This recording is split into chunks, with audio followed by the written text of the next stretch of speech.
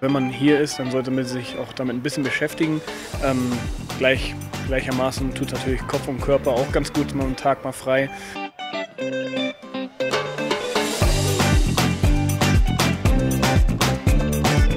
Mal ein bisschen rauszukommen aus dem Hotel, was anderes zu sehen und äh, ja, die Tiere waren dann auch schon sehr beeindruckend.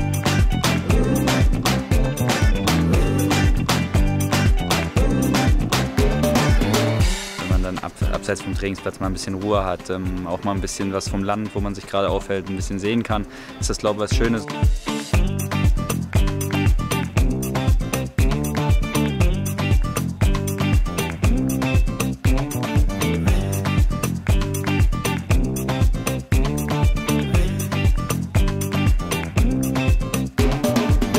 Ich muss sagen, also das äh, Apartheid-Museum war schon sehr interessant.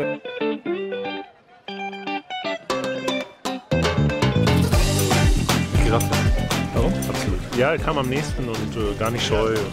Kopf in, äh, ins Auto gesteckt, beziehungsweise äh, in den Bus gesteckt und äh, ja, findet man ganz interessant, wenn die dann doch so nahbar sind. Ne?